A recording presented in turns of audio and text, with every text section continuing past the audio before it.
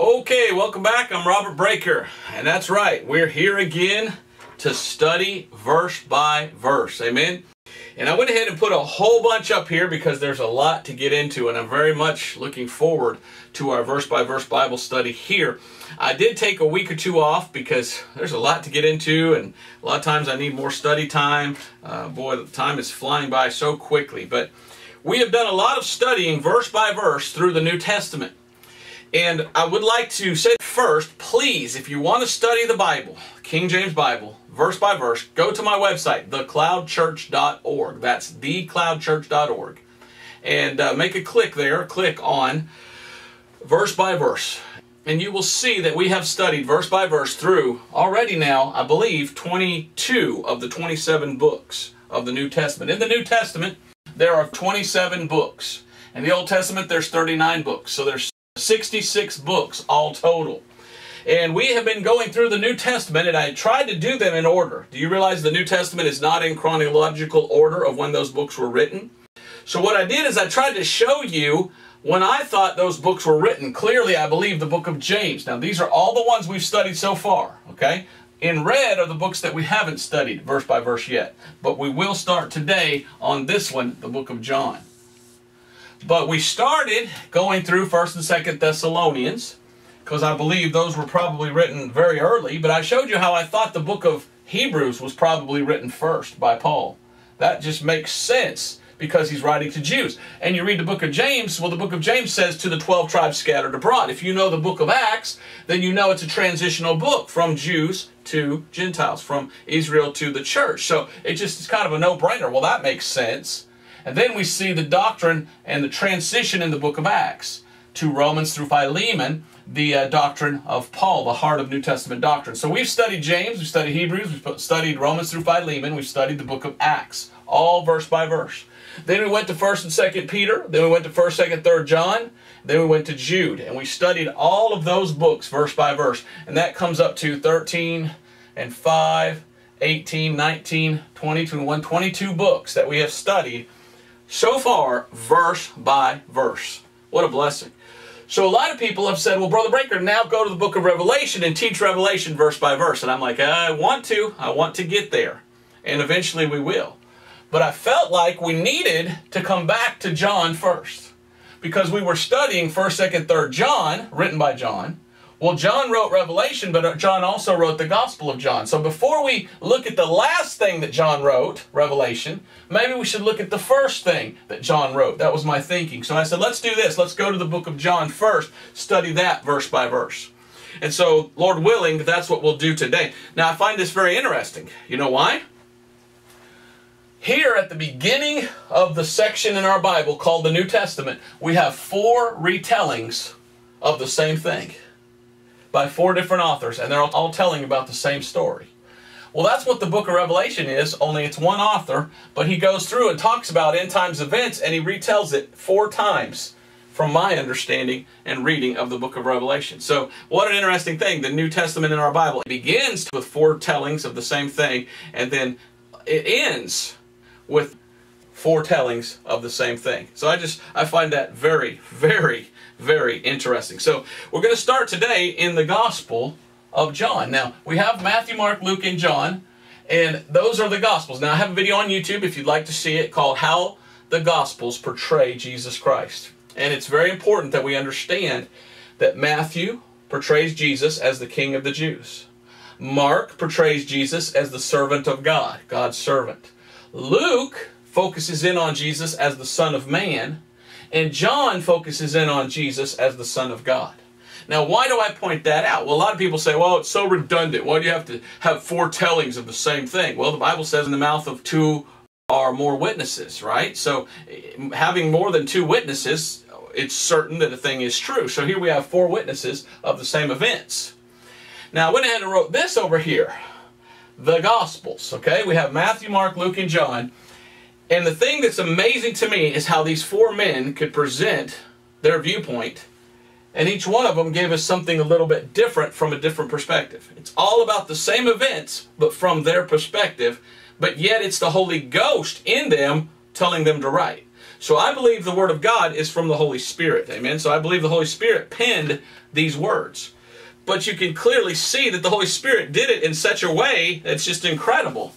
How did he do it? He did it in a way that he presents it all from a different perspective or a different viewpoint. So, Matthew, Mark, Luke, and John. In these books, Jesus Christ is presented as the following. In Matthew, he's presented as the Messiah. In Mark, he's presented as a servant. In Luke, he's presented as the Son of Man. And in John, he's presented as the Son of God, which, by the way, the Jews understood that if you're saying I'm the Son of God, then you're saying I am God. And we're going to see that in the book of John. The book of John is very, very much about the deity of Jesus Christ, of Jesus being God. Not just the Son of God, but being God himself, manifest in the flesh. Now, it comes to the genealogy. Matthew goes to Abraham and says, This Jesus that goes all the way back to Abraham. Mark presents Jesus as, well, he's a man. But we have two natures. When we look at all this, we see the two natures of Jesus. We see the divine nature, and we see the nature that he came born of a virgin as, as a natural man, only without sin. Okay? Born in the flesh. The likeness of sinful flesh, the Bible says, yet without sin. Luke ties the genealogy of Jesus all the way back to Adam. What an amazing thing how he could say now, and his father, and his father, and his father, and his father. Now we know the true father of Jesus was God, but the adopted father of Jesus was Joseph. And so he gives you the lineage of Joseph all the way back to uh, Adam, the first man that God created. And we see in another place also, um, we could take the lineage back through Mary all the way back to Adam if we take these two together. But when you go to John, the book of John takes Jesus back not to Adam, but before Adam to eternity past. And John says he's God that has always existed and was from the beginning. So this is so important when we study the Gospels is to see how they all intertwine, how they all fit, and yet how there's differences between them. But why are there differences? Because we're getting a different perspective from each one of them. And it's just, it's an incredible thing. This wasn't just an accident, men writing. This was God giving us this for a purpose. Now, what Jesus did or said, or what, what, what it was that Jesus was engaged in in the Gospels.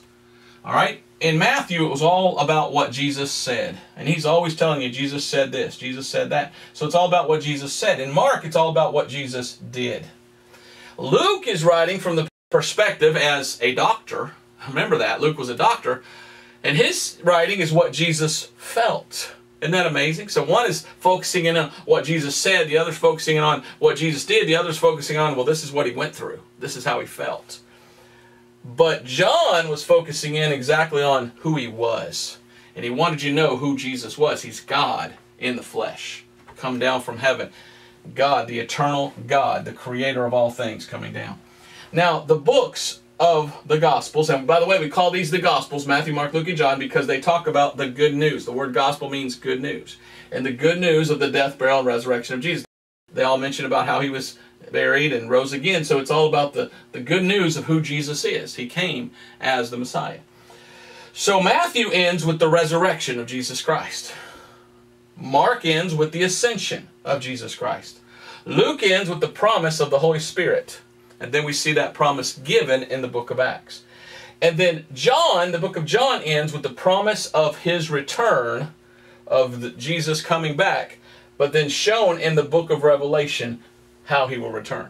So that's why John didn't just write this book, he had to write that book too, because they go together. That's why I felt like we really have to look at this one first before we can go to this one over here. So we've got to study the Gospel of John before we can study the revelation of John. And we've already looked at 1st, 2nd, 3rd John. And I told you how, uh, in a lot of ways, we can tie that into uh, Paul and the teachings of Paul.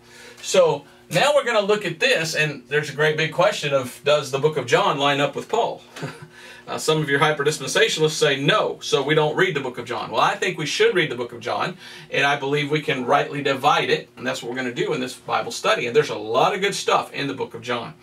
So I want to go through all this and I want to show you this. Now let's start here. The Gospel of John. Again, good news is the word gospel. So there's four gospels in the Bible and they're all about the good news of the coming of Christ and his death, burial, and resurrection and how he was the Messiah of the Jews, the Christ.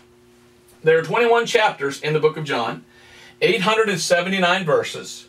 19,099 words in our King James Bible. Remember, I'm King James only. And if you don't know why, well, go to YouTube and type in Robert Breaker, Why King James. And you'll find several videos there about why King James is the only one that comes from the true text. Now, written by the Apostle John. Remember, he was one of the 12 apostles. Okay?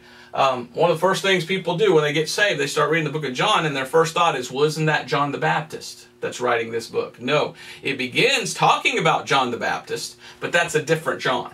This is a different John. This is the Apostle John. John the Baptist was never an apostle. He was the precursor or the coming before Jesus to announce the coming of Jesus. So John the Baptist is very different than the Apostle John. But John writes about John the Baptist, okay? So there's two Johns. You got to remember that. Now, a lot of your scholars say that this book was written about 85 to 95 AD. And I look at that and I go, I don't see that working very well with the book of Acts. And I'm looking at this and I go, no, I think it's got to be written sooner. I, I think anywhere between 40 to 80 AD.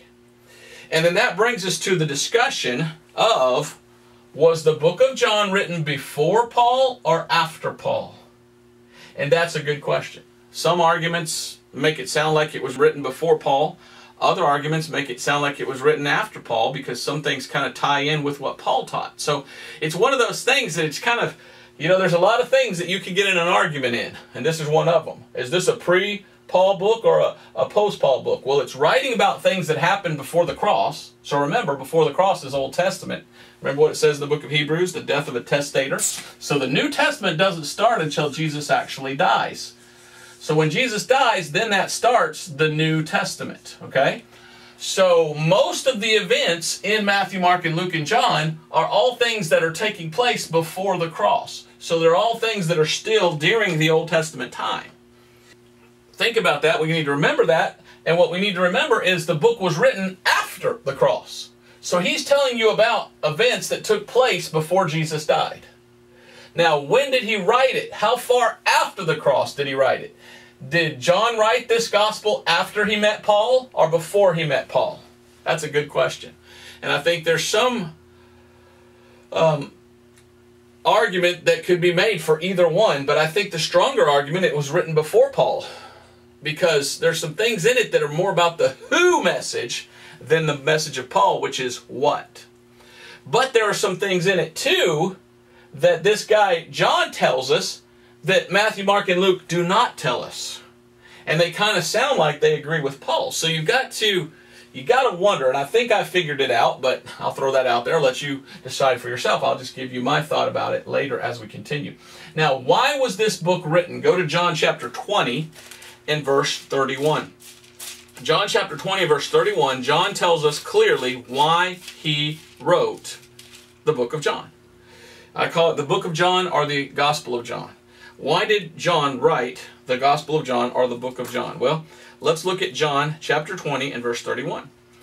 But these are written that you might believe that Jesus is the Christ, the Son of God, and that believing you might have life through his name. So the very reason this book was written is so that you may believe. But what is it that you're supposed to believe? Are you supposed to believe in the blood of Christ? That's Paul's message through faith in his blood. Did he say, I wrote this book so you trust the blood of Jesus? Or did he say, I wrote this book that you may believe? And then he says, believe what? That believe that Jesus is the Christ. So he's writing this book, it sounds like, because he says, I want you to believe that Jesus is the Christ.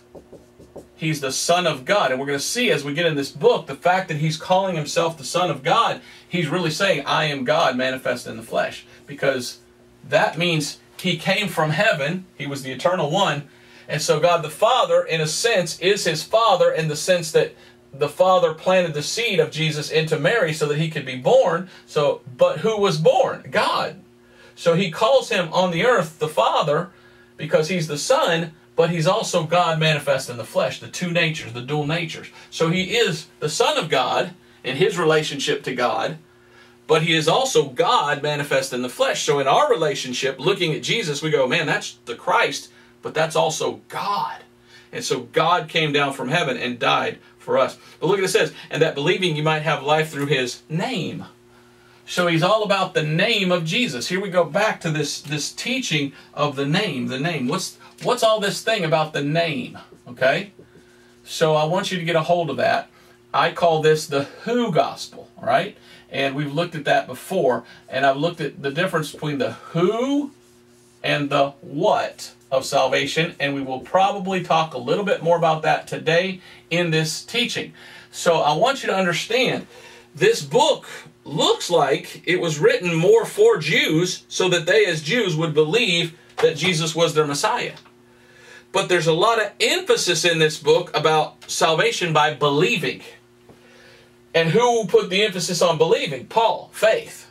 So it's it's one of those things where this book has kind of a double application. Applies to Jews, hey, you need to believe who Jesus is, but we can take the belief part and say, yeah, that lines up with Paul. We're saved by believing today, so wherever it says believe, but we're we're injecting that back into it, and we're saying believe in the blood. But if you read the book itself, it's literally saying, no, faith in who Jesus is. Well, believing in who Jesus is, is that what saves us today? No, it's believing in what Jesus did. It's trusting in the atonement. So we have a little bit of problem with the book of John, but not exactly. If we rightly divide, I don't have a problem using the book of John for gospel tracts and things like that because it says believe and you'll have eternal life. Well, yeah, that's what Paul taught. But it doesn't tell you to believe in what. So we go from Paul, we say now we inject Paul back in it, and we say now that belief today is believing in the blood of Christ. So it's really a, a, an amazing book. There's a lot of people out there today that love the book of John and they love the book of Romans. And so uh, many printing presses uh, will print a John and Romans, and they will only print the book of John and the book of Romans rather than print the whole Bible. Because John is written so that you believe who Jesus is, and then Romans is written from Paul that you would believe in what Jesus did for you and you would trust in what Jesus did. So you got the who message and the what message. And those those are good to go together.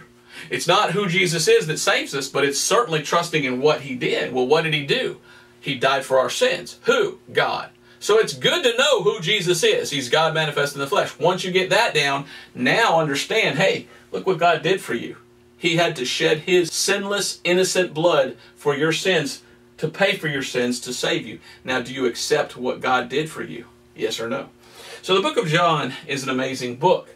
And it's all about, and the theme is believe and have eternal life. He goes into eternal life a lot and talks a lot about eternal life. Much, much more than uh, many of the other. Uh, we'll, we'll look at this here in a minute. But he goes way more into eternal life than the other ones.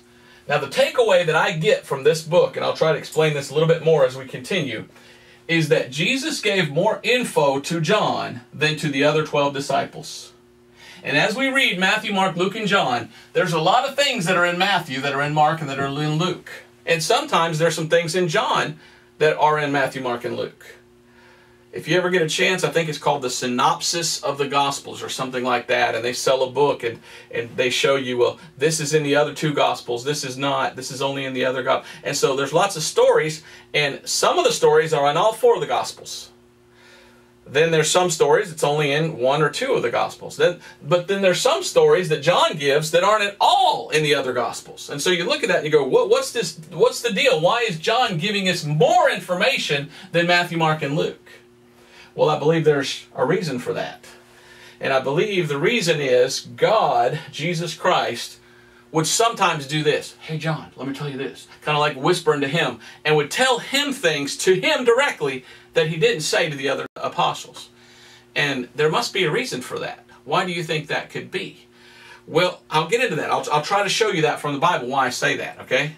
And I think if you look at it, you'll go, oh yeah, that makes sense, Brother Breaker. Okay, I'm not reading into it. I'm not making up my own teaching. I'm just reading the Bible and I'm going, Jesus gave more info to him. That's why we have more info in John than we have in Matthew, Mark, and Luke.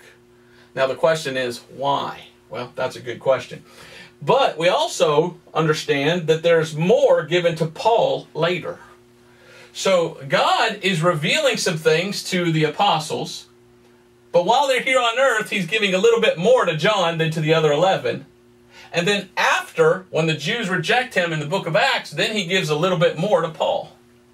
And then once the doctrine is set in stone of the church, God goes back to John one more time and says, Now go ahead and write this book of Revelation. And then there's the ultimate, the final revelation, and the final thing where God says, Now. So he gives to John even more farther out. So John is an interesting character. And so there's some important information that we can gather and glean from John. But a lot of John is about believing who Jesus was. That would be more of a message to the Jews, believe in the name. But believing is what saves us. So as we read through John, we can put the emphasis on the believing, but then remind people now believing in the blood today is what saves us, not just believing in who Jesus is. Does that make sense? I hope it does. so the theme of this book is belief, and when you believe, you get eternal life. All right? Believing is key to the book of John. But when it was written, it was all about believing who he is. It wasn't the message of believing what he did. So that makes me wonder if it wasn't written before Paul. Or maybe it was written after Paul, but it was written after Paul and then he's writing it more to Jews so that they would believe who Jesus was so that then they could come around and believe in what Jesus did. So many questions. So we look at the Gospels, we looked at how they portrayed Jesus. Now, we'll just go ahead and dive into this. Let me just read verse 1. So, for the sake of, of saying we studied a verse today, we got through verse 1. Now, we'll probably come back next week and we'll start again in verse 1. But I didn't want to make this a separate video and call it the introduction. I want to make this, we'll just call it uh, John chapter 1, verse 1. In the beginning was the Word, and the Word was with God, and the Word was God.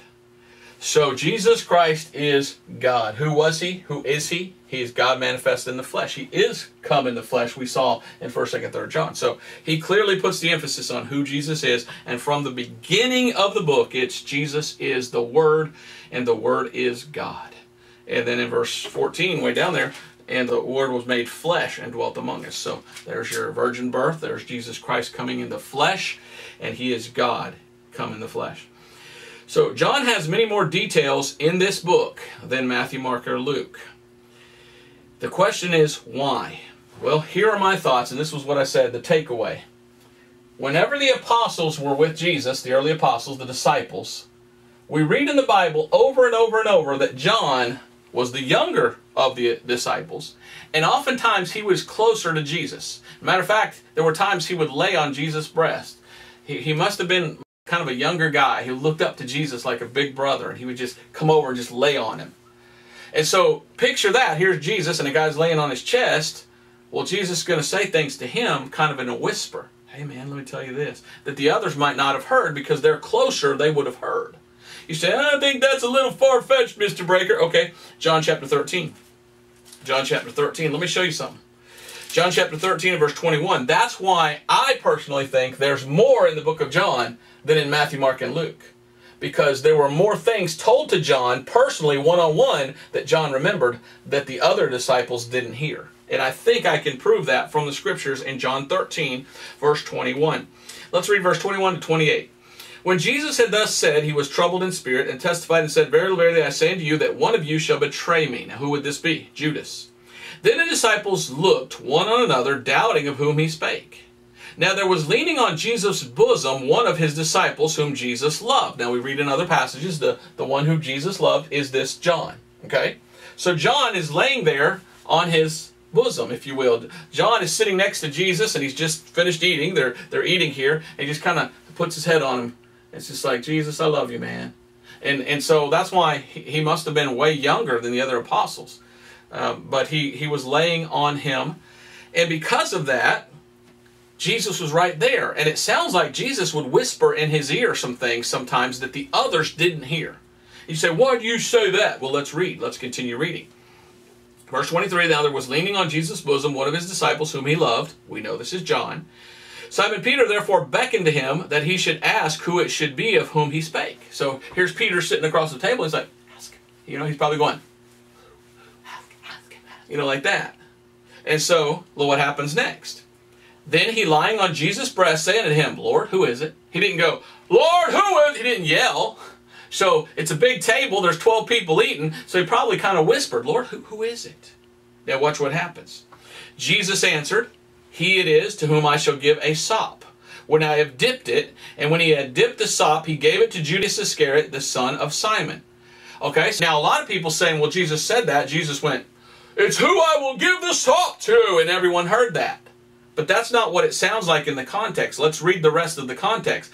It sounds like in context, he says, Lord, who is it? And Jesus goes, the one I give sop to. And the others didn't hear that. Let me show you that. All right, let me let me give you that here. So, and when he had dipped the sop, he gave it to Judas Iscariot, the son of Simon. And after the sop, Satan entered into him. Then said Jesus unto him, That thou doest, doest quickly. Now, verse uh, 28. Now no man at the table knew for what intent he spake this unto him. For some of them thought because Jesus had the bag, that Jesus had said unto him, Buy those things that we have need of against the feast, or that he should give something to the poor. Then he, having received the sop, went immediately out, and it was night. Do you see the context? So the context is Peter going, Ask him, ask him, you know? And so he goes, Jesus, because he's laying on his breast, who's going to betray you? And the context makes it sound like whoever I give the sop to. He just whispers in his ear. And then he, bloop, bloop, here you go. And then he gets up and walks out, and everyone's going, Why is he walking out? Why would they ask, Why is he walking out if they would have heard that conversation? They wouldn't have asked that. They would have understood. They would have gone, Oh, he's the one. But they didn't. They didn't understand why he got up and left. They didn't understand why Jesus said what they'll do. So here we see clearly in the Word of God that Jesus would speak to John, sometimes, sounds like, in a whisper or a one on one, and the other disciples didn't hear it. Okay? So the takeaway that I get as I read this book is to me it sounds like because John was so close to the Lord, he got more information. Many of the disciples were a little farther away. So the closer you get to Jesus, the more you get from the Bible. is the way I look at it. Man, I want to stay close to the Lord. I want to learn more. Let's go over to John chapter 21 here in verse 20 through 24. We find a retelling of this and look what it says. John chapter 21 and verse 20. Then Peter, turning about, seeth the disciple whom Jesus loved, following, which also leaned on his breast at supper and said, Lord, which is he that betrayeth thee? All right, we just read that.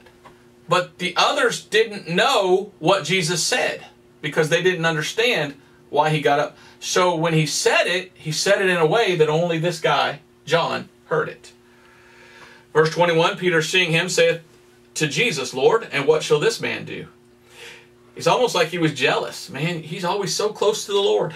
You know, he's he's like the teacher's pet. you know what I mean? Jesus said unto him, If I will that he tarry till I come, what is that to thee? Follow thou me. Then went this saying among the brethren that that disciple should not die.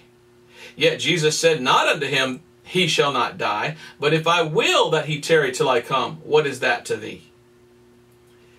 Verse 24 This is the disciple which testifieth of these things and wrote these things, and we know that his testimony is true. John is writing this book, and John is saying, I'm the one that wrote about this. And it's interesting that Peter says, What about him? And Jesus says, What if he what if he lives when I come? What if he tarries until I come? And they're like, oh, so he's going to live without dying until Jesus comes? Okay, so is John still alive today? No. But you know what's interesting? John saw the coming of Jesus Christ. He tarried, he lived longest of all the uh, disciples or apostles, and guess what? He lived to see the coming of Jesus in a vision. So he saw it and he wrote it down. So there's a lot of stuff going on in this book. This is pretty amazing. But I think from reading this book and looking at this and looking at that as an example, that Jesus gave more information to John than he did to Matthew, Mark, and Luke. And it was because John was always there, it sounds like a lot of the things that he wrote, he wrote, and people go, but, but it doesn't line up with Matthew, Mark, and Luke. Exactly. Because these are all little private conversations that he had with Jesus that he said, oh yeah, Jesus told me this. Oh yeah, Jesus told me this. Oh yeah, Jesus said this. And so he's putting that out. And the other disciples, oh, that's what you guys were talking about. So they would have wanted the book of John and wanted to read it and wanted to know, yeah, what were those things that you and Jesus were always talking about when we weren't there? You know what I'm saying? So that's how I view the book of John, a little different than the other three gospels. But a lot of the same events are there, but added information. And why would Jesus have said more to John? Well, Jesus knew that the Jews were going to kill him And we actually read that in the book of John. He even tells them, I'm going to die, and in three days I'm going to rise again. And old Peter, not so, Lord, you know, and the, and the disciples, no, it's not going to happen. And it did. So Jesus knew the future. So there was probably times when Jesus said to John, "Hey, um, this is going to happen. That's going to happen, and you got to believe this to be saved." And then, and and he gave a little extra information to John, and John just kind of kept that to himself and said, hmm, "Okay, okay." He didn't know what to do with it until later, and then he was looking back and he goes, "Oh yeah, oh now I'm starting to see it." So the question is, did he write it before Paul or after Paul? If he wrote it before Paul, well, that makes perfect sense why he's still using the who and the name of Jesus and trying to say, yeah, it's all about believing who he is. But if he wrote it after Paul, that, that would make sense for, oh, so Paul's preaching this now and it's all about believing. And that, yeah, Jesus told me in private a lot of times, believe, believe, believe. And so, so it's kind of hard to get together when it was written. A lot of scholars say it was written really late, around the time of Revelation. Well, then there should be a lot of things that line up with Paul. Well, there are some, like Jesus being the Lamb of God. What is that? That's insinuating he is the blood atonement. But what if it was written before Paul, and these were certain little hints that Jesus was dropping, little foreshadowing that Jesus was dropping just to John and no one else about how it's going to be under Paul's ministry. So there's several ways to look at this. And uh, I just think it's amazing. So that's how the Gospels portray Jesus. We've looked at that. And Jesus is the Son of God. He's portrayed as the Son of God in the book of John. But portraying him as the Son of God is really portraying him as God. See, a lot of people don't understand. They say, oh, he's just the Son of God, he's not God. They must not be reading their Bible. Because John is presenting Jesus Christ as the Son of God, and that's his divine nature, because he literally, his Father literally is God. But now he's also presenting him with his natural nature of being in flesh. And he's the Son of Man. So he's giving you the two natures, but he is making sure he declares, but I want you to know he's not just the Son of God, he is God. And that's what he presents in this book. Let's go to John chapter 10. So as you read John, even the Pharisees who were lost, when Jesus came saying, I'm the Son of God, they said, Man, you're making yourself God. You're saying that you are God. Well, that's what verse 1 is saying. In the beginning was the Word, the Word is Jesus, and the Word was with God, and the Word is God. So he starts out his book dogmatically saying, He's not just the Son of God, He is God. So he's telling you Jesus Christ is God. Okay? Do you get that? Now go to John chapter 10 and verse 24. John chapter 10 and verse 24. And it's going to have to be a long passage here, but John 10, 24, all the way down to 39.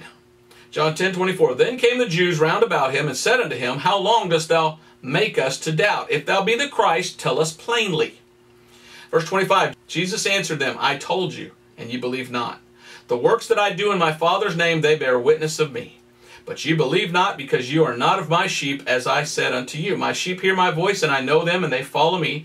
And I give unto them eternal life, and they shall never perish, neither shall any man pluck them out of my hand. Well, that's eternal security. What's it doing in the book of John? Why is that being said before the cross? Was it only said to John as a, a foreshadowing or of a Jesus saying, you know, in the future, it's going to be once saved, always saved? But he says here in verse 29. But my Father, which gave them me, is greater than all, and no man is able to pluck them out of my Father's hand. Now, verse 30. I and my Father are one. So Jesus is saying, I am God and the Father is God. I came as the Son of God because God is my Father so that I could be born of a woman. He put a seed in there. And now I'm born as the Son of Man, like he says in Luke, but I'm man and I'm God. I have a dual nature. But he says, I am still God and I and the Father are one because we are one God. I am God manifest in the flesh. It's the Trinity doctrine. It's the Godhead of one God and three, and those three are one. And the Jews understood that because look what it says next. Verse 31. Then the Jews took up stones again to stone him. Verse 32. Jesus answered them, Many good works have I showed you from my Father. For which of these works do you stone me? Verse 33. The Jews answered him, saying, For a good work we stone thee not, but for blasphemy, because that thou being a man makest thyself God. Now, if Jesus Christ was just a man with a sinful father, he would have had a sinful nature. You see, the sinful nature passes down from the father in the blood. The mother, she's just the one that bears you. But the seed is from the man. Well, who was the father of Jesus Christ? God the Father, God. So Jesus Christ came down, and some people call him the God man. uh, he came down with a dual nature. He came down, and he is God manifest in the flesh, but he had to have flesh of likeness of flesh, the Bible says. And he had to have, a, so he's man, but he's God in the flesh of man. And so they said, You're saying that you are God? We're going to stone you, you blasphemer. And if he had been a sinner, whose father was really Joseph and not God the Father, then he should have been stoned. But the fact that he is the Son of God, in the sense that God the Father planted the seed in the woman, that he is God manifest in the flesh. So you have God the Father, God the Son, God the Holy Ghost. It's one God, okay? One God. So you need to understand that Jesus Christ is God. And the Jews recognize that. And they say, You're saying you're God. Now look at verse 34. Jesus answered them, Is it not written in your law, I said ye are gods? and then he goes on there and he bawls them out because they're running around saying they're gods. Why? Because they're following Satan rather than God. And what was the first thing Satan said? The first thing Satan said is, Ye shall be as gods. So they're running around thinking that they're gods here on earth. And Jesus, God, here on earth, shows up and they don't accept him because they want to be him. And then they realize we can't be him. We'll never be as good as him. They want to kill him. Well, Paul later says, guess who they killed? They killed God. And so as we read through the book of John, he's alluding to the fact that Jesus is God, and then he's talking about, hey, guess who was killed? It was God. So it's all about who God is. But Paul made the message about what he did. It's about the blood atonement. But we kind of see that too right? In the book of John, because he calls him the Lamb of God, which taketh away the sin of the world. So it's one of those things. Was it written before Paul or after Paul? I don't know. Was he back writing what he learned from Paul and remembered? Or was he writing this first and then Paul comes along and then he goes, Oh, okay, a lot of what Jesus told me in private lines up with Paul. It's one of those things. It's hard to figure out. But all we know is it doesn't take away from the message of Paul and the message of the gospel through faith in the blood atonement of Christ. So, Hebrews chapter 1, verse 1 through 8. Is Jesus Christ God? That's the question. You know, I get phone calls all the time, and emails, and comments from people who say, I don't believe in the Trinity. and I always go, well, I don't know why you don't. The Bible's very clear. And they say, I just believe Jesus is the Son of God, and that's all. And I say, yeah, but he's God. No, he's just the Son of God. And I say, he's both. Well, he can't be both. Yes, he can. The only way he can be both is he has a dual nature. Because the book of John presents him as the Son of God, but also as God the Son. As God manifest in the flesh. That's verse 1. In the beginning was the Word, Word with God, and the Word was God. So Jesus Christ is God. Period. So here we go to Hebrews chapter 1, and look what it says. God, who at sundry times and in diverse manners spake in time past unto the fathers by the prophets, hath in these last days spoken unto us by his Son, whom he hath appointed heir of all things, by whom also he made the worlds. So God the Father says, I sent Jesus as my Son. Okay, so God the Father views him as the Son. But God the Father is God, and Jesus Christ is God, so God the Father must view him as God the Son. That doesn't make two gods, that makes one God. But God can manifest himself in three different places at one time. So Jesus Christ is God. But he's the Son. Now look what it says here. Hath in these last days spoken to us by his Son, whom he hath appointed heir of all things, by whom also he made the worlds. Now verse 3. Who being the brightness of his glory and the express image of his person, and upholding all things by the word of his power, when he had himself purged our sins, sat down on the right hand of the majesty on high, being made so much better than the angels as he hath by inheritance obtained a more excellent name than they. Verse 5 For unto which of the angels said he at any time, Thou art my son, this day have I begotten thee? And again, I will be to him a father, and he shall be to me a son. Now, verse 6 And again, when he bringeth in the first begotten into the world, he saith, And let all the angels of God worship him. And of the angels he saith, Who maketh his angels spirits, and his ministers a flame of fire. Now, verse 8.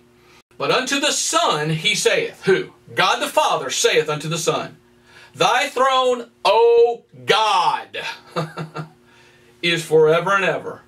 a sceptre of righteousness is the sceptre of thy kingdom. Jesus came for a kingdom. He came preaching the kingdom message. He was to be accepted by Israel as their Messiah and to rule over them as the king. They didn't realize he was going to be God himself coming to reign. They thought he was just going to be a man like David. But the Bible says he's God. And God the Father says to the Son, Jesus Christ, Thy throne, O God.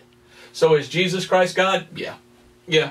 And if you don't believe that, well, good luck with your heresy, okay?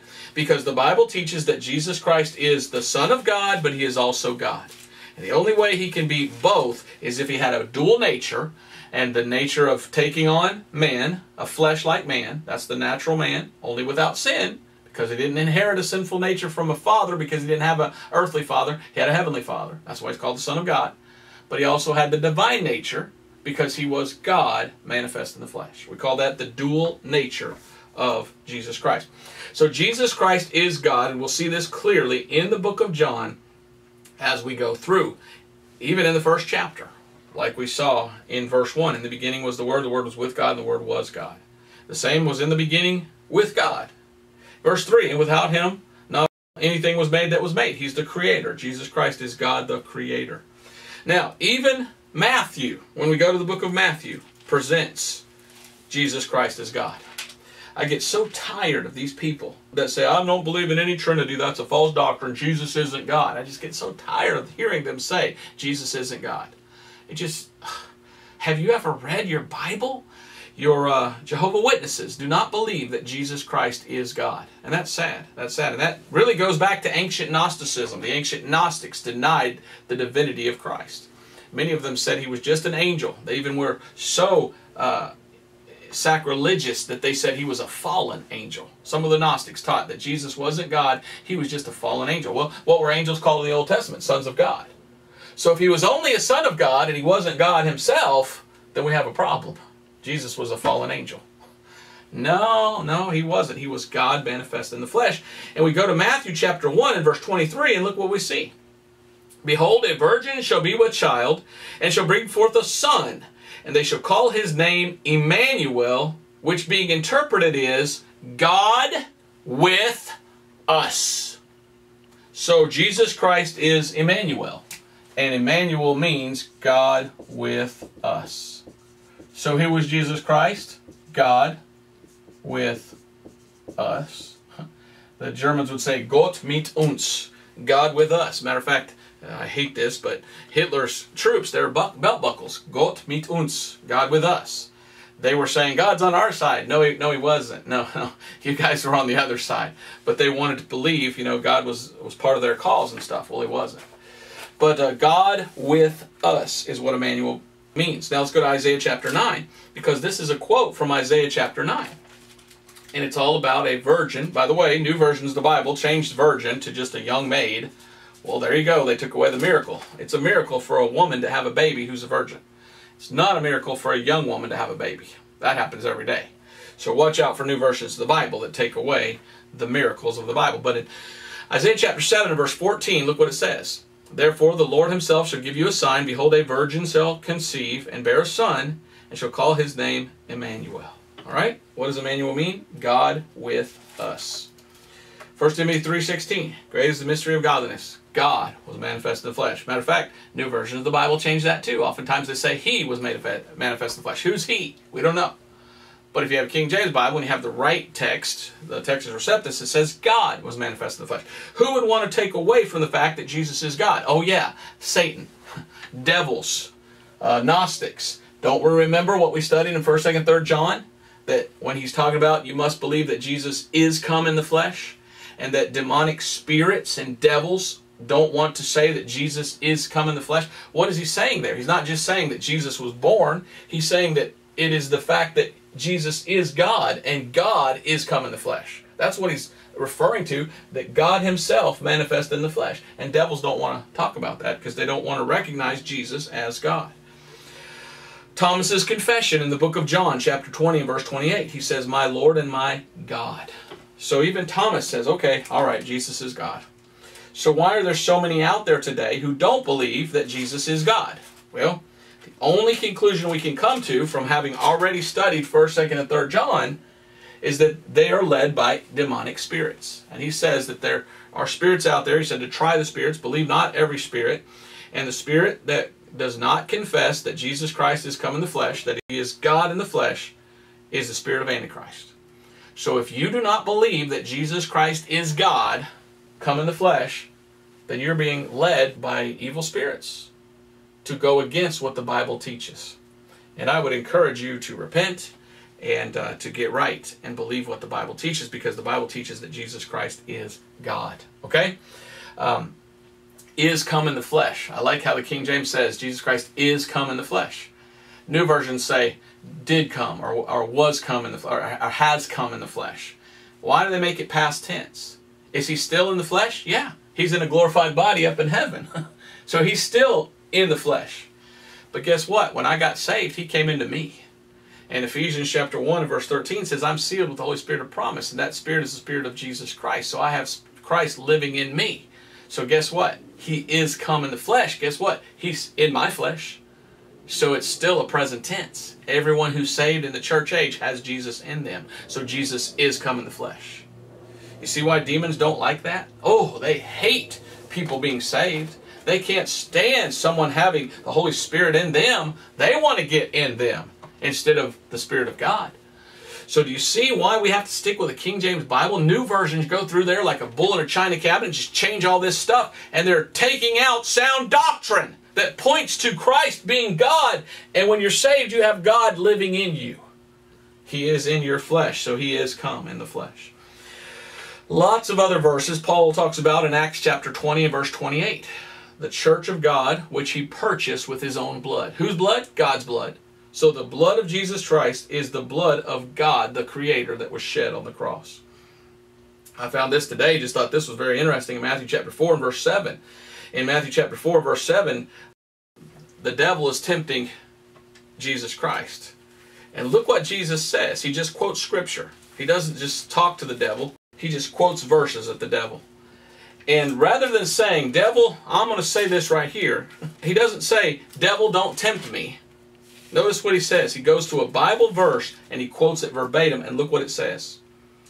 Matthew chapter 4 and verse 7. Jesus said unto him, It is written again, Thou shalt not tempt the Lord thy God. What is Jesus saying? He didn't say, Devil, don't you tempt me. He said, Devil, don't you tempt the Lord your God. What's he saying? He's saying, Devil, you know I'm God, manifest in the flesh. And you know the Bible says you don't tempt God. I'm God right here looking right at you. And I will not bow down to you. You bow down to me, buddy. So Jesus Christ said he was God. Paul, John, Thomas, uh, Matthew, Isaiah, they all said that Jesus Christ is God. So either you believe it or you don't. So is Jesus Christ God? Yes, no doubt. He has a dual nature. He has the divine nature. His father was God. But he has a human nature because he was born of an earthly woman. And that's how he can refer to himself as both the Son of Man and the Son of God because of that dual nature. So Jesus Christ is God, but more than this, he was God who died in our place for our sins as the blood atonement for our sins. And this is alluded to by John. Go to John chapter 1. So this is amazing to me that there's a foreshadowing given here. And in John chapter 1, he records John the Baptist coming. And one of the other Gospels records John the Baptist, but he doesn't have John the Baptist saying this. Why didn't he have John the Baptist saying this? Why is John the only one that records that John the Baptist said this? Interesting. Because it must have been on his mind. He must have realized, oh yeah, that's important. I remember him saying that. Yeah, I need to write that down. Now, is that because he remembered Paul? So it's written after Paul?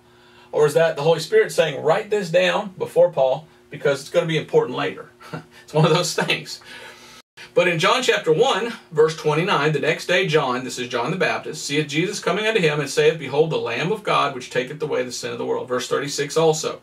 And looking upon Jesus as he walked, he saith, Behold, the Lamb of God. So twice he says that Jesus, right here, Jesus is going to be the Lamb of God. He said, Behold, the Lamb of God. Now, why is he calling them the Lamb of God?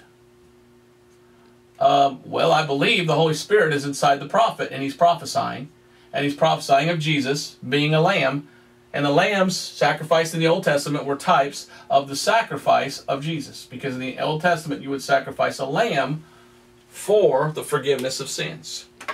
So here we have a foreshadowing of the coming teaching of Paul. Hey, make sure you trust in Jesus and what he did, because as a lamb, he died in your place for your sins. So, lots more that we can get into here, but Jesus is presented as as the coming lamb. Hmm. Now, Jesus was God, and the fact that he could do miracles proved he was God. And the book of John is full of many miracles. Uh, Jesus, as God, was able to give eternal life. Why? Because Jesus is eternal life. I was going to read to you 1 John 5 and verse 20, I believe it is, the last verse of chapter 5. Speaking of Jesus Christ, 1 John 5 20. But I didn't get a chance to go there. If you get a chance, read 1 John 5 20. Jesus Christ is eternal life. Why? Because Jesus came from eternity past, because Jesus is God, manifest in the flesh. So if Jesus is eternal life, then he can give you what he is. He can give you himself. And so there's a lot in the book of John about believing and receiving eternal life through Jesus. I just, for funds, looked up. The word believe shows up 52 times in the book of John. The word believeth, 17 times. The word believest, three times. The word believing, one time. So the book of John talks about believe many, many, many, many times compared to Matthew, Mark, and Luke. They might use the word once or twice, but it's very seldom and not even close to as many times as the word belief is used in the book of John. Why is that? Well, because John is trying to focus in more on, okay, here's who Jesus is. Now you need to believe. You need to understand and you need to believe it. Because he was dealing with a bunch of people that didn't believe that Jesus was the Christ or the Messiah or God. So he's writing this book to convince people who Jesus is. And he alludes to what Jesus did or would do as the Lamb, but he's not giving the same message of Paul as trust the blood. I haven't found yet in the book of John where it says trust the blood of Christ. But that was Paul's message. But as we go back and read John, knowing what we know now, we can see the foreshadowing. We can see it pointing to Paul's message. Hey, Jesus is a lamb. Hey, Jesus said, I'm going to die for the world. Hey, the Bible says God the Father gave his only begotten Son so that the world might have everlasting life. You know, John 3 16. So I see the book of John as a great book to read because it points to Paul's message. Even though it still might be more back there applying to that, it still keeps pointing over here to Paul. Okay? So don't throw out the book of John like your hyperdispensationalists do. Many hyperdispensationalists say, we can't even read the book of John. I go, yeah, yeah, you can, and yeah, you should. So why don't you? Why don't you? So the word eternal life shows up 20 times. The word everlasting life shows up 18 times in the book of John. So the book of John is about believing Jesus is God and that he can give you eternal life. But the eternal life in the book of John is through believing who Jesus is, believing in his name. That's different than what Paul taught. Paul taught we trust in the blood of Christ. We trust in what Jesus did. Okay? So John is more about who Jesus is. And Paul is more about what Jesus did.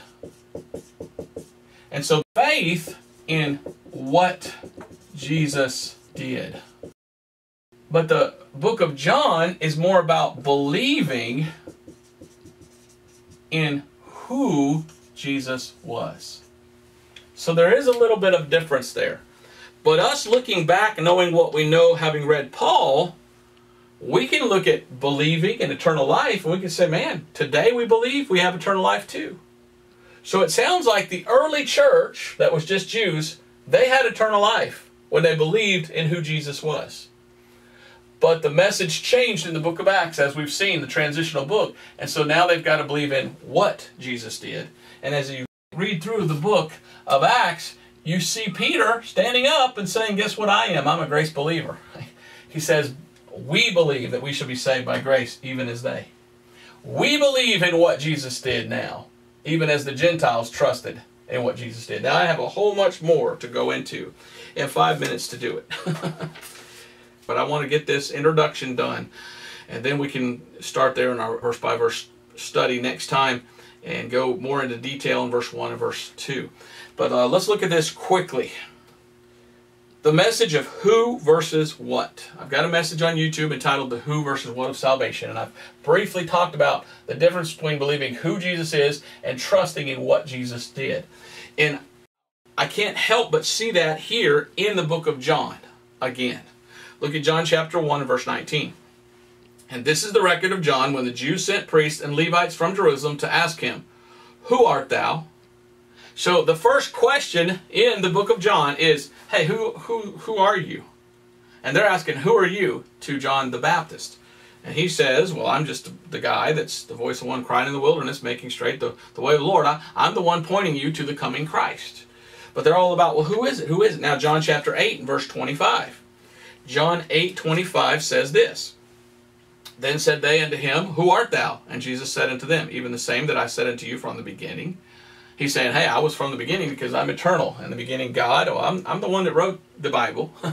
I'm the one from the beginning. So it's a, it's a lot about who, who Jesus is. In the book of John, the name shows up 24 times.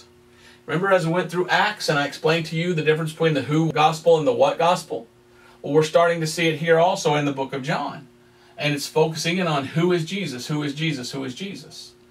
So, for that reason, a lot of people say, so we can't apply it to us today. Well, yes, we can if we take the who message and we say, well, John's saying if you believe who Jesus is, you have eternal life. And that was before the transition to Paul. So, if you believe in what Jesus did, you have eternal life. And in both, it's eternal life through believing. So as I read through the book of John, sure I can use some of these verses in an evangelistic way and tell a person, hey, do you realize if you believe, you're saved?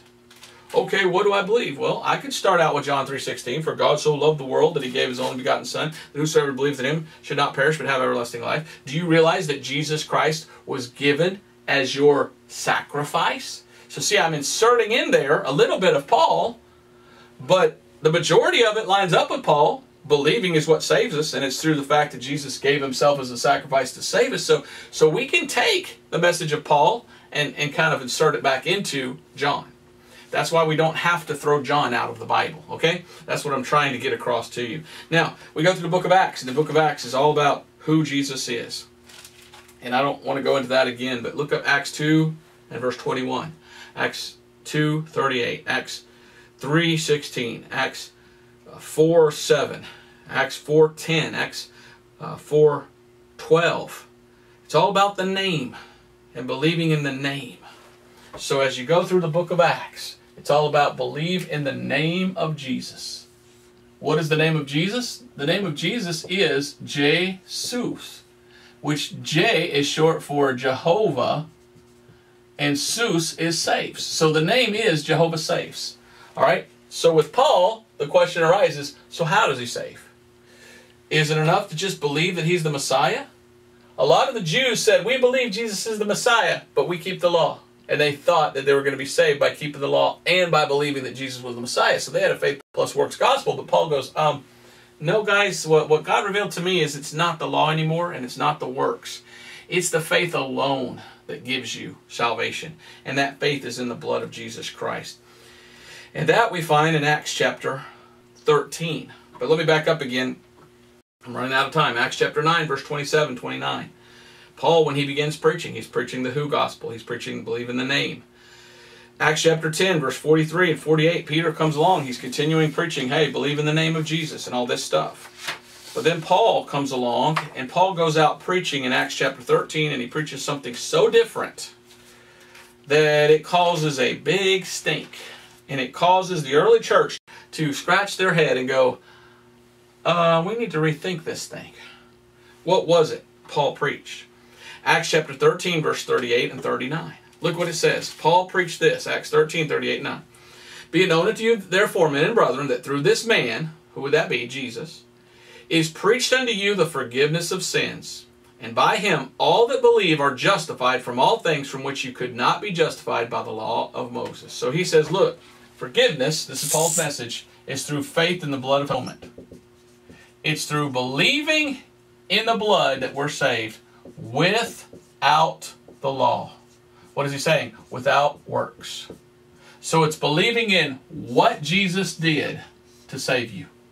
Not what you do and believing in who Jesus is. Paul says that's not it. It's whether or not you have trusted what Jesus did. And when you trust in what he did for you, his blood atonement, then you're justified. Well, Acts chapter 15, the early church comes together. Why? Because there were some Pharisees that believed that Jesus was the Messiah, but they were still keeping the law. And they're still thinking, no, no, no, it's not just believing that we're saved. It's not believe and have eternal life. We, we still don't believe that yet. We think we have to do good works to get eternal life. Well, the whole book of Hebrews would have been to them saying, no, no, no, it's not the works. It's, it's just believing because it's Him that saves, and it's through believing Him that you're saved. So we get the context. But Acts chapter 15, a certain man which came down from Judea taught the brethren and said, Except you be circumcised after the manner of Moses, you cannot be saved. So works gospel. And the church was like, What? Verse 2 When therefore Paul and Barnabas had no small dissension and disputation with them, they determined that Paul and Barnabas and certain other of them should go up to Jerusalem unto the apostles and elders about this question. So the early church is going, Well, all we understand is that Jesus is the Messiah, and we all believe that. Now, Paul, you're telling us that the blood atonement is where our faith should be placed in. Romans 3.25, through faith in his blood. You're telling us that we're saved by grace through faith and no longer of works? Let's let's get together. Let's find out what is and that's what happened. Now I don't have time to read all of Acts chapter 15, but I would encourage you to do so. Because there is where Peter stands up in verse 11 and says, But we believe that through the grace of the Lord Jesus Christ we shall be saved even as they. How? Verse 9, by faith. So Peter says, we're going to accept this gospel of preaching of Paul, that it's faith alone that saves you without works, and that you're justified. This is the main word that's so beautiful justified. Justified by faith. So when you look at it like that, and you look back at the book of John, it makes you think, wow, maybe the book of John was written after Paul because he's making a lot of emphasis on believe. And Paul's all about faith, and faith is believing. But you look at it the other way too, it's all about who Jesus is and his name. So, was it written before Paul? And it's all foreshadowing and alluding.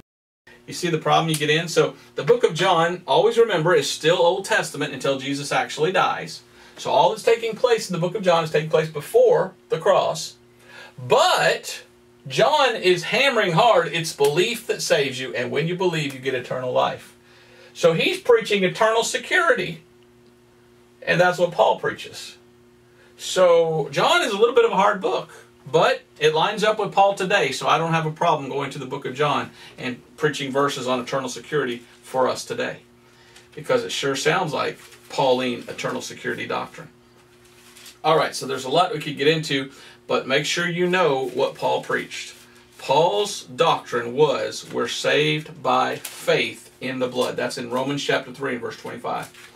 Romans chapter 3 verse 25 says, Whom God hath set forth to be a propitiation through faith in his blood to declare his righteousness for the remission of sins that are past through the forbearance of God. So it's faith in the blood. Romans 5.11, what does he say? He says the atonement. In Romans 5.11 says, and not only so, but we also joy in God through our Lord Jesus Christ, by whom we have now received the atonement. So you have to receive the atonement by faith to be saved. Verse 9, much more than being now justified by his blood, we shall be saved from wrath through him. All right, so that's the what.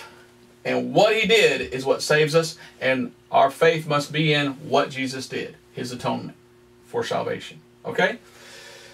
Now, with all that stated, the New Testament starts with the death of a testator, Hebrews chapter 9, verse 16 through 17. So, again, remember that what John teaches in his book is all events that took place before the cross, before the New Testament, before he shed his blood.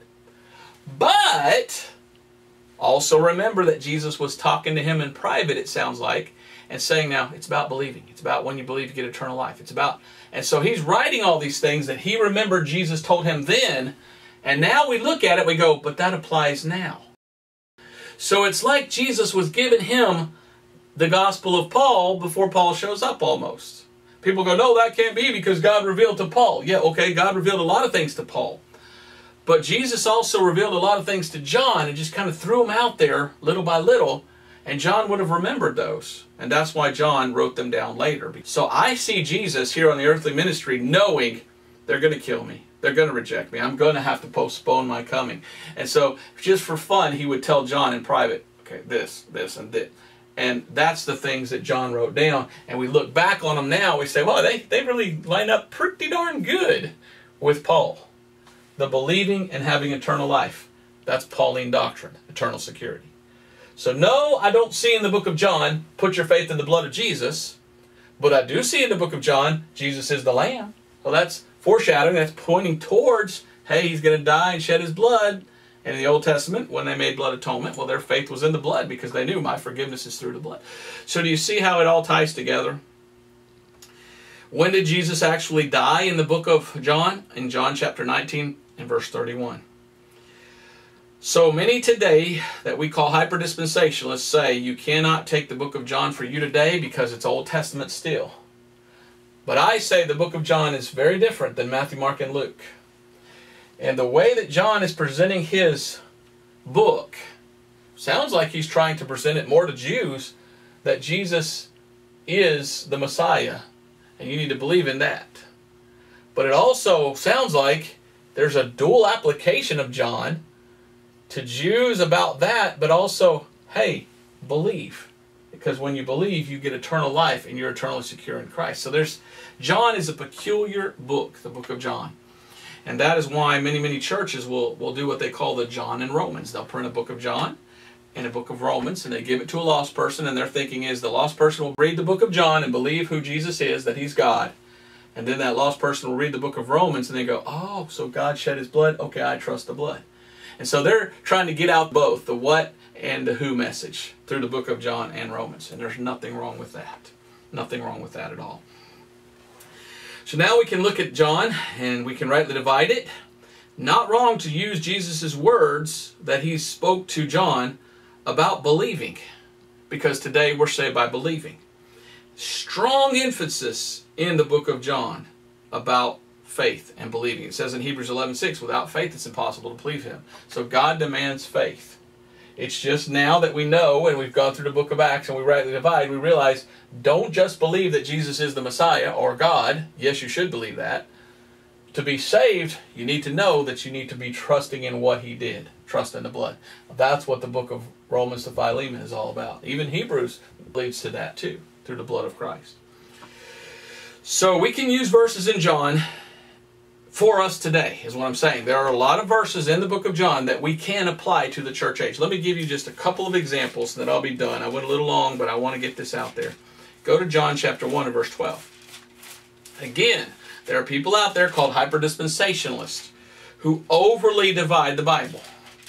And I've heard many of them say, you cannot take Matthew, Mark, Luke, and John or anything in those books and try to apply it to today because Jesus said he came only to Israel. Well, yes, he did say that. Jesus came in his earthly ministry only to Israel. But the book of John is so peculiar, it's so different, because there are things mentioned in John that aren't mentioned in Matthew, Mark, and Luke. And it's like John is is telling you information that he got from Jesus, and, and the information Jesus was telling John is it's all about believing. And when you believe, you're saved and you have eternal security. So you're saved by believing. Okay, that's what Jesus was telling John, and John's telling us. Now, he didn't say, and it's believing in the blood. He told Paul that later. But we are saved today by believing. Okay? So we just take Paul's blood and, and, and, enter it back there into the book of John, and then boom, we got we got a book for us. Yay! We've got a book we can use to win souls, right? But look at John chapter 1 and verse 12. Here's an example of doctrine that lines up with Paul. John chapter 1 verse 12. But as many as received him, who's that? Jesus. To them gave he power to become the sons of God, even to them that believe on his name. All right, here's an argument that the book was written after Paul, and he's taken Pauline doctrine and he's putting it back into his account of the retelling of Jesus' ministry. Because he says when you get saved, you get born again. John chapter 3, he gives us a, the story of Jesus saying you must be born again in John chapter 3. So born again, all right? There are some hyperdispensationalists out there, they say, no, we're not born again today. Born again is only to Jews, and it's before the cross, so it's a different dispensation. And I go, uh, I don't think so, buddy. Because Paul tells us about being begotten or being born again. There's a spiritual birth that takes place when you get saved, and that is being born again. So I look at Paul and I look at First John and I go, you know what? First John 1:12, that's what happens when I get saved through believing Paul's gospel. I'm born again. Now I'm a son of God. You say, where's that in Paul? Well, I'm glad you asked. Let's go look. Let's go to 1 Corinthians 4.15. 1 Corinthians chapter 4, verse 15, Paul tells me that I'm born again. How did I get born again? 1 Corinthians 4.15, For though ye have 10,000 instructors in Christ, yet have ye not many fathers, for in Christ Jesus I have begotten you through the gospel. So there's a new birth. I'm born again through Paul's gospel. All right? He doesn't mention Paul's gospel over here in John, but he certainly alludes to it in the future. So it's like John is saying, hey, Paul's talking about the new birth of born again. Well, Jesus kind of mentioned in our private conversations something about that. And that when you are born again, you're a son of God. Well, hey, here we are over here looking at Paul's doctrine. We go, yeah, that's in accordance with Paul. When you're saved, you're begotten through the gospel. You're born again. So do you see how it lines up? Makes sense to me. I don't throw out the baby with the bathwater, as some of these hyper dispensationalists do. I don't throw out the book of John. Let's go to Galatians. So John chapter 1 and verse 12 says, You're born again. All right? I believe that today, when we're saved, we're born again. And look at Galatians chapter 4. And in the book of Galatians chapter 4, Paul uses a term, born after the Spirit.